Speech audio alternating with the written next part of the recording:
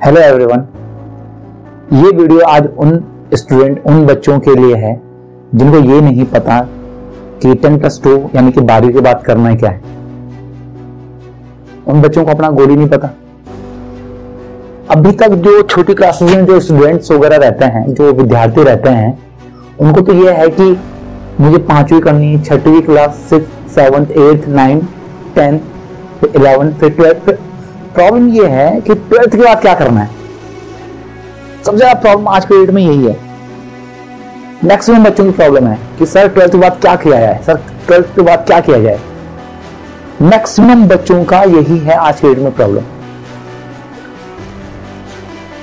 तो भाई, पहले तो ऐसा है कि जैसे आप टेंथ से इलेवेंथ क्लास में जाओ, सबसे पहले आप अपना गोल सेट करो। सबसे पहले आप लोग अपना गोल सेट करो कि मेरा गोल क्या है? मुझे करना क्या है? एक साल डेढ़ साल बचा मेरे पास। इन डेढ़ सालों में दो सालों में मुझे करना है क्या है? और जो भी आप करो उसके लिए कितनी मेहनत करनी पड़ेगी आपको? कितनी मेहनत? पहले देखो आप कि अगर बहुत सारे बच्चे जैसे मैंने देखा है कि आ, मैंने कल अपने क्लास में अपने काफ़ी बच्चों से डिस्कस किया आ, क्या करना चाह रहे हो? सर मुझे ट्वेल्थ के बाद एनडीए करना है ओके?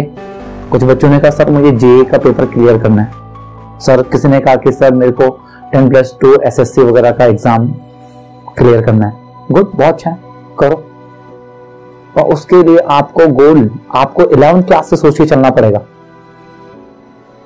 अपने सीनियर से टिप्स लो। जिस कोचिंग में आप पढ़ रहे हो, वहाँ आप टिप्स लो। स्कूल के टीचर से टिप्स लो। आपके घर में कोई सीनियर होगा, उनसे टिप्स लो। कुछ बच्चे बोलते हैं, सर, मुझे, सर एनडीए ही करना है। ठीक है एनडीए करना है, बहुत बेहतरीन। पर ये सोचो कि अगर आपको एनडीए करना है तो उसको क्लियर करने के लिए आपको कितनी मेहनत करनी पड़ेगी? जिन बच्चों ने क्लियर करा है क्रैक करा है, ये एग्ज़ाम्स वगैरह, आज बहुत अच्छे मुकाम पे हैं। तो उन बच्चों से आके मिलो आप। एग्ज़ाम तो फाइट कर लिया है, पर उस एग्ज़ाम के पीछे की मेहनत वो किसने देखी है? वो उस बच्चे ने देखी है। तो उससे बात करो कि आपने कितनी मेहनत करी उस एग्ज़ाम के लिए। कोई भी कंपटीशन आप फाइट कर सकते हो। कोई भी competition ten plus two base पे आप कोई भी कंपटीशन फाइट कर सकते हो। आपको यह है कि स्टार्टिंग आपको, यानी कि स्टार्टिंग बोलूँगा मैं इलेवन जो करियर के लिए मैं बोलूँगा, जो शुरुआत, वो इलेवंथ क्लास से बोलूँगा। सोचो आप इलेवंथ से सोचना स्टार्ट करो। सोचते हैं बच्चे की। ट्वेल्थ हो जाएगी, उसके बाद सोचेंगे पेरेंट्स सोच रहे हैं। अरे आप लोग सोचो ना यार। कंसंट्रेशन ज़ीरो आज के लेवल में। हार्ड वर्किंग नथिंग ज़ीरो ऐसे में आप कैसे कुछ करोगे? ऐसे में तो बेटे कुछ नहीं होने वाला। सो आप लोगों से मैं सर यही करूँगा, यही रिक्वेस्ट करूँगा या मैं आपको यही मैसेज दूँगा कि भाई, कुछ भी करो, कुछ भी, पर फोकस करो। जो चीज़ करना चाह रहे हो उस पर फोकस करो। ऐसे हवा में बातें करने से कुछ नहीं होएगा। हवा में बात करने से कुछ नहीं होगा। जो चीज़ आपको अचीव करनी है, उसके लिए मेहनत करो। जी जान से मेहनत करो यार। जी जान से मेहनत करो उस चीज़ के लिए। दिन रात एक कर दो। एक टाइम ऐसा आएगा, जो चीज़ चाह रहे हो, वो तुम्हें मिलेगा। किसी भी फ़ील्ड में उतरो। जिस फ़ील्ड में उतर रहे हो उस फ़ील्ड में अपना हंड्रेड परसेंट दो। तब जाके कुछ आपको मिलेगा। वैसे ही भाई, एक ही लाइफ मिलती है। एक लाइफ में जितना, जितनी मेहनत कर सकते हो करो, और जितने कम टाइम में जितना ज़्यादा अचीव कर सकते हो, उतना अच्छा है। जितनी कम टाइम में जितनी सक्सेसफुल अपनी सक्सेस हासिल कर सकते हो, उसको गेन करो। जितने कम टाइम में आप जितना बेहतरीन करोगे, उतना अच्छा है। सो आपको पहले से ही प्रिपेयर रहना पड़ेगा इन चीज़ों के लिए। और मैं आज के पेरेंट्स से भी यही डिस्कस करूँगा यही मैसेज दूँगा कि आप लोग थोड़ा सा अपने बच्चे को लेके थोड़ा सा, बहुत ज़्यादा नहीं बोलूँगा, थोड़ा सा डिस्कस करें आप अपने बच्चों से। उनके साथ बैठे आप, बातें करें। मेरा बच्चा कहाँ जा रहा है? आज के टाइम पे पेरेंट्स को लगता है कि मेरा बच्चा कोचिंग जा रहा है, बस किसी इंस्टीट्यूट वगैरह में जा रहा है। आप देखो, मेरा बच्चा कहाँ जा रहा है, क्या कर रहा है, किससे मिल रहा है, कौन उसका फ्रेंड सर्कल है उससे आके आप देखो। सिर्फ़ किसी भी कोचिंग सेंटर के भरोसे मत छोड़ो आप। कि किसी कोचिंग सेंटर में कि मेरा भाई कोच कोचिंग सेंटर में जा रहा है, मेरा लड़का, बस चलो ठीक है। अरे कोचिंग सेंटर से जान, अकेले सिर्फ़ किसी कोचिंग सेंटर में डेढ़ दो तीन घंटे जाने से कुछ नहीं होने वाला।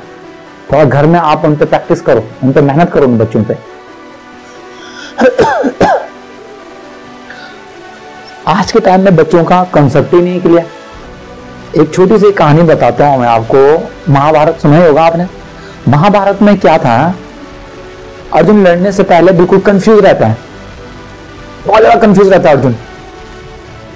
अब कृष्ण जी, उनको पता है, भाई अगर ये आदमी कंफ्यूज रहा तो ये लड़ेगा कैसे?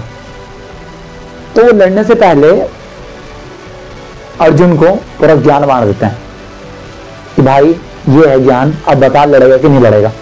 उसको पूरे डाउट्स क्लियर पूरे कंसेप्ट क्लियर कर देते हैं। पूरे डाउट्स क्लियर जहाँ उसके डाउट्स क्लियर उसके बाद वो लड़ना स्टार्ट करता है। अगर उसके कंसेप्ट क्लियर ना होते तो वो आज हम यही सुनने को मिलता कि यह कौरव जीत गए, पांडव हार गए। उसके कंसेप्ट क्लियर थे। उसको पता था मेरा टारगेट क्या है, मेरा लक्ष्य क्या है, मेरा गोल क्या है? उसको पता था मेरा लक्ष्य क्या है, मेरा गोल क्या है। जब उसको पता था कि मेरा गोल क्या है, उसके बाद वो लड़ा। लड़ा तो बहुत बेहतरीन तरीके से लड़ा। पूरी दुनिया को पता है उसके बारे में आज के डेट तो आप लोगों से भी यही है कि आप अपने कंसेप्ट क्लियर करिए। तो हार्ड वर्किंग पे कुछ फोकस करो आप। और आप लोगों को तो मैं सारे स्टूडेंट जितने भी इंडिया के सारे स्टूडेंट उनको मैं दो, एक ही मैसेज दूँगा कि दो चीज़ों पे वर्क करो, एक हार्ड वर्किंग पे, एक कंसंट्रेशन पे। इन दोनों पे वर्क करो। हार्ड वर्किंग और कंसंट्रेशन इन पे आप वर्क करो। उसके अलावा आप जो चाहोगे यार, सब हो जाएगा। जो चाहोगे। और जिस बच्चे ने अभी मेहनत करी, उसका फ्यूचर बहुत बेहतरीन है भाई। सुन लो। जो अभी मेहनत करेगा, उसकी लाइफ आगे सेट है। और जिसको अभी ऐसा लगेगा कि यार कि नहीं, अभी मौज मस्ती की लाइफ है तो वो अपना भाई मेहनत का लेवल जो है, उसको गधों की तरह आगे देखना पड़ेगा। जिसने अभी मेहनत करी, उसके फ्यूचर बहुत बेहतरीन। बहुत अच्छा। सो अब मेहनत करने का डालो बच्चे बोलते हैं कि, सर, कि मेरा बेड लक मैं इतनी मेहनत करता हूँ बेड अरे, क्या मेहनत कर रहे हो? कैसी मेहनत कर रहे हो? बेड लक है, सर बेड लक क्या बेड लक है? किस्मत एक बार काम आएगी, दो बार काम आएगी भाई। हर बार नहीं आती काम। एक बार कोशिश करो यार, आप लोग। जितना अपना अपना हंड्रेड परसेंट दो आप लोग। आप जितना हो सकता है अपना हंड्रेड परसेंट दो। किसी भी फ़ील्ड में हो, कहीं भी हो, अपना हंड्रेड परसेंट दो आप लोग। एक टाइम ऐसा आएगा, आप बहुत बढ़िया, बहुत आगे अच्छा करोगे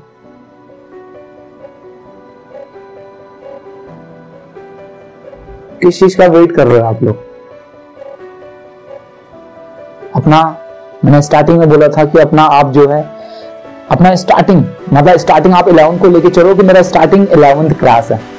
इलेवंथ क्लास है मेरी स्टार्टिंग अब मेरी करियर स्टार्ट हुई वहाँ सोचो, दो साल में इलेवन ट्वेल्थ करो बेहतरीन तरीके से अपनी इलेवन ट्वेल्थ को करो। जहाँ हो, जिस इंस्टीट्यूट, जिस कोचिंग में जहाँ जिधर भी हो, दो साल बेहतरीन पढ़ो। दो साल बाद आपका एनडीए जे नीट जो भी निकालना चाहो, सब क्लियर हो जाएगा। किसी कोचिंग में जाने की ज़रूरत नहीं पड़ेगी आप लोग को। किसी भी कोचिंग में आप लोग को जाने की ज़रूरत नहीं पड़ेगी। ये याद रखिए आप।